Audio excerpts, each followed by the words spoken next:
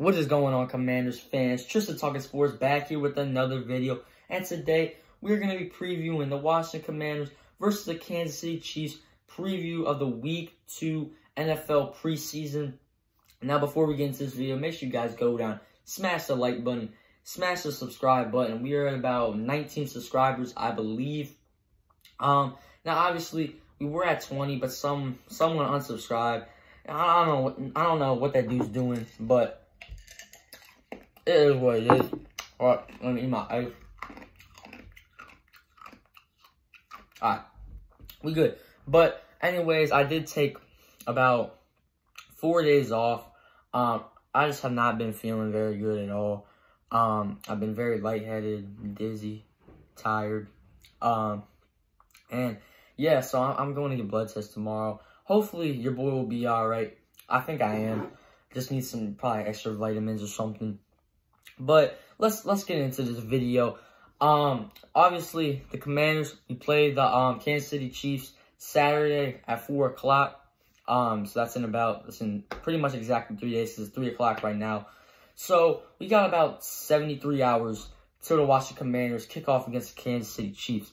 Now, obviously, man, we did lose in a bad way to the Carolina Panthers. Uh, we lost by a score 23 to 21. Um, now, we were winning 21 to 20 in the last two and a half minutes of the game, but then the Carolina um, Panthers kick returner returned it to about the 33-yard line. So then, obviously, Matt Corral, he looked terrible all game. He looked like shit. Um, but we, we pretty much just handed the Carolina Panthers um, the game. You know, so they got the ball at the 33. I believe it was like third and 14 or something. And then we absolutely decked Matt Corral. We got the fumble. We recovered it. And then I see a flag, and I'm like, oh, it's probably just holding on the Panthers. You know, we won the game. Let's go. But then they call, I see a flag, and they call illegal hands to the face like 20 or 30 yards downfield. um, so that gave the Panthers an automatic first down when we should have won the game, but our defense was absolutely undisciplined. So that was frustrating to see. And then, so they got, so then they had first and 10 at like the 48 or something.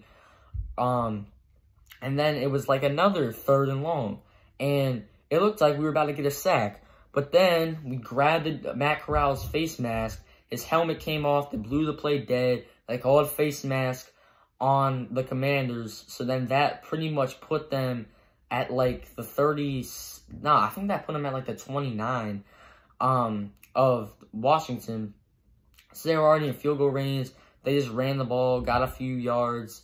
Um, they kicked like a 45-yard field goal to take the lead with like 24 seconds left. Um, and then Sam Howell, we weren't able to get down the field. Um, 24 seconds was not enough for us to get um, down the field and kick a field goal. Um, and I, like, I, I just didn't like what the refs, um, I think it was like 12 seconds left, and the Panthers jumped off sides. Um, we snapped the ball, right? We threw, I think it was an incompletion. And then they threw the flag after, so they called off sides basically after the play. So uh, five seconds already ran off the clock um, after the play. So we only had seven seconds left. They called off sides, but obviously it's only five yards. And they didn't give us the time back. They didn't give us five seconds back. Now, if, if it's offsides, they should throw the flag when he jumps off you get five more yards and no time uh, comes off the clock. But since they jumped off sides, they made us, we had to snap, we snapped the ball, threw an incompletion, then they threw the flag, um, after five seconds came off the clock. I, I just don't understand that, man. That was just bad officiating by the refs. Um, now, I'm not going to blame that call in the game. I mean, obviously, the reason we lost because the defense was undisciplined. Um, it's just frustrating because I feel like we just handed the Carolina Panthers a game. Um, you know, Matt Corral was not going to beat us. Um, we beat ourselves. That's really how we lost that game.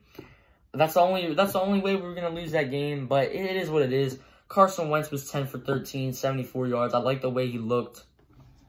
Antonio Gibson, man. Antonio freaking Gibson. Antonio fucking Gibson. What the hell are you doing? I, I might go, I'm not going to try to go on a rant about Antonio Gibson. I, I love Antonio Gibson. but his fumbling problem is an issue. Okay, um, we saw it a lot last year. Um, he costed us some games with his fumbling. Remember, he fumbled against the Chargers. He fumbled against the Panthers. When we were about to play, uh, how many? I think he had like seven fumbles last year, something like that. Maybe he had more. I don't know, but he fumbled on his second carry against the Carolina Panthers. I think we were down 3 nothing, right? And it was Carson Wentz's second drive because we went 3 and out the first drive because Carson Wentz threw a decent ball to, um, who was it, Hodges, and he dropped the ball. It was a tough catch. It was contested, but, I mean, that was pretty much the only, no one else was open, so that's the only throw Carson Wentz really had that was kind of open, and he dropped it.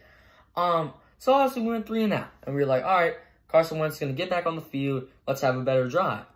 Then he gives it to Antonio Gibson, and Antonio Gibson fumbles. The Panthers recover it. They end up get, getting a touchdown because they had the ball at like the 15-yard line. Sam Darnold threw a touchdown. The Panthers go up 10 nothing. Then we end up benching Antonio Gibson, and then we put Brian Robinson Jr. in. Brian Robinson looked great. He scored the first touchdown in Washington Commanders history. The dude looked like an absolute stud. He was hitting his holes. He looks so much more explosive than Antonio Gibson. And he ended up getting a touchdown.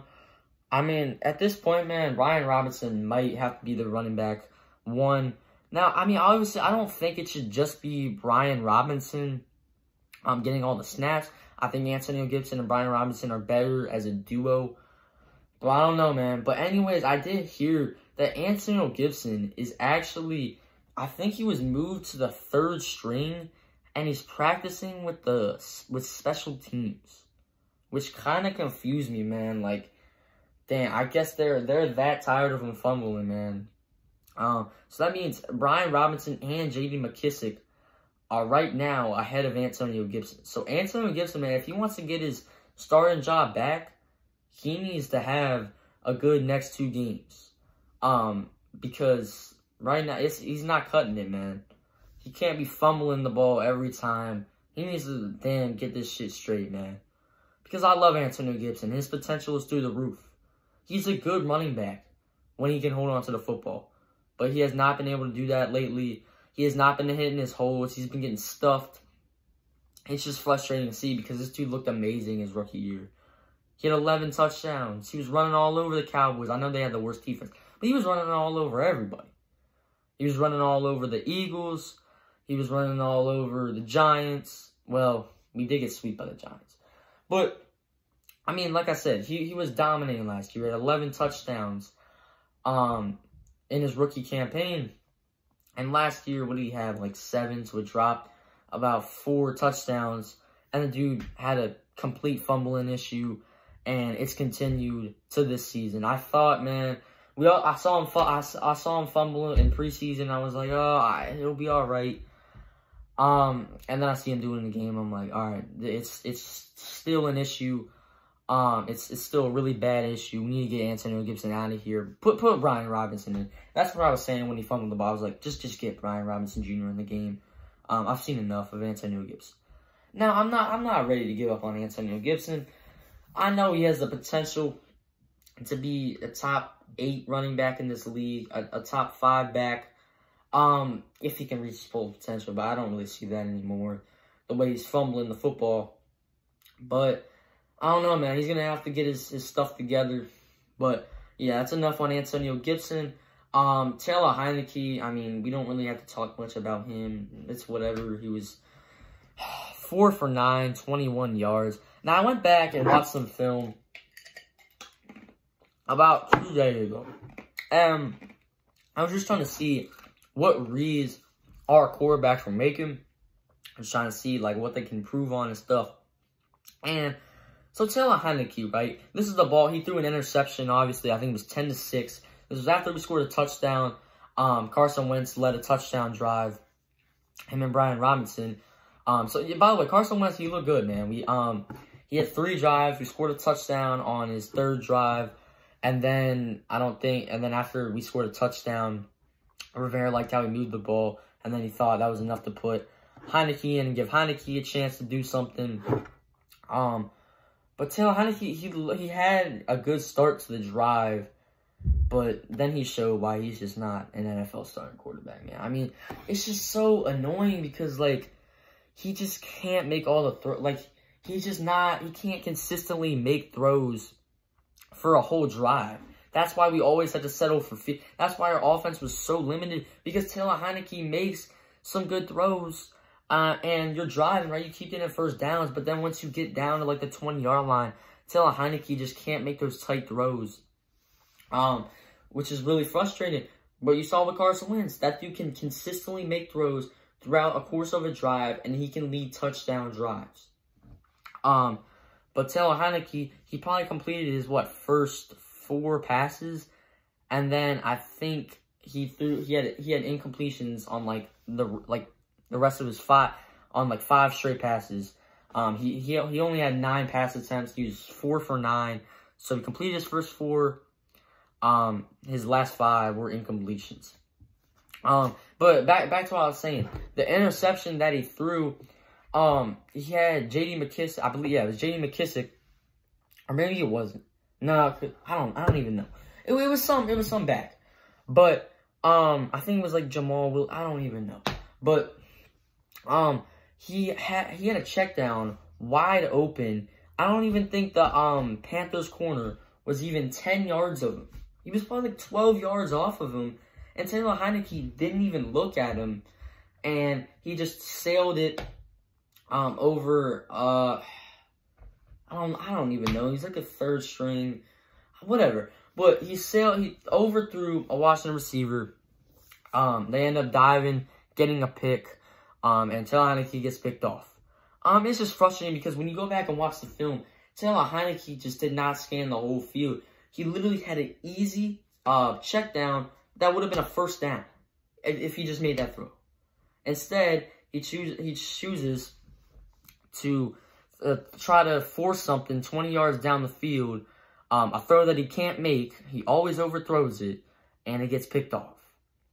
As a problem with Taylor Heinicke, his decision-making is awful at times. Awful. Um, that's why Sam Howell will be, he'll be taking Taylor Heinicke's QB2 spot in a heartbeat. Uh, you know, um, I think I, I've seen enough to put Sam Howell at the number two spot. But that's just me.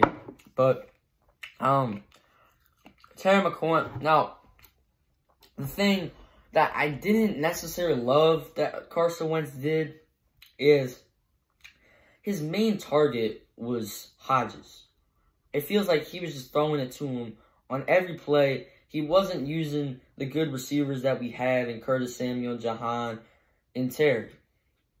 Um, now he had one nice completion to Terry for like 13, 14 yards. Um, he, yeah, he actually got, he was throwing to Curtis Samuel a decent amount. I like the screen pass they had to Curtis Samuel. Curtis Samuel looked pretty good. Had some nice completions over the middle to him. Um, now they did um, they threw one deep ball to Jahan Dotson, which I, I was glad to see, but Carson Wentz just overthrew him a little bit. Um, Jahan Dotson got great separation. Um, and it, I think it wouldn't have been a touchdown, but it would, he would have been like a, he probably would have been down at like a 20 of the Panthers.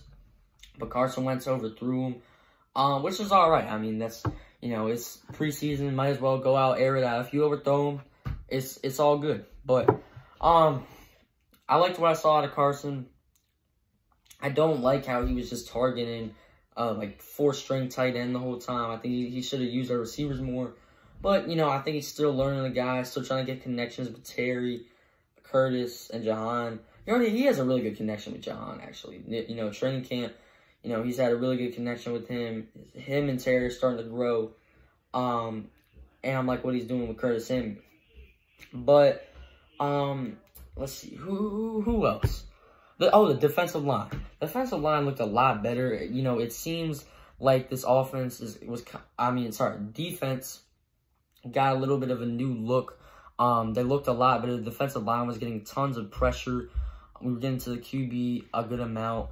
Um, now we just, we just got to get better at you know bringing the quarterback down. There was a time where we should have an easy sack against Baker Mayfield, and he kind of shook out of it was able to get like three yards, and that set up a third and like short for the Carolina Panthers, which, which can't happen. You know, we got to bring them down. But I'm happy with the pressure that they got. Um, you know, so I think, you know, Jack Del Rio is definitely changing up the scheme a little bit. Um, it was kind of a new look on defense, and I was glad to see that. Um, it looked a lot better. But, yeah, um, defensive line, the secondary, Kendall Fuller was kind of getting beat. Um, you know, there was a, I think it was a Sam Darnold touchdown to make it 10 nothing. Kendall Fuller got absolutely toasted for a touchdown. I think he was trying to cut the receiver in, and the receiver ended up going around him. Touchdown. Um, Kendall Fuller, he gets beat like that a lot, man. He's got to, he's got to tighten up. He's got to clean that up. He cannot get beat like that this year. Um, we're gonna need Kendall Fuller to step up because he's gonna be a huge part of this defense. But yeah, that's all I got. Thank you guys for watching. Um, and I'll see you all in the next video. Peace.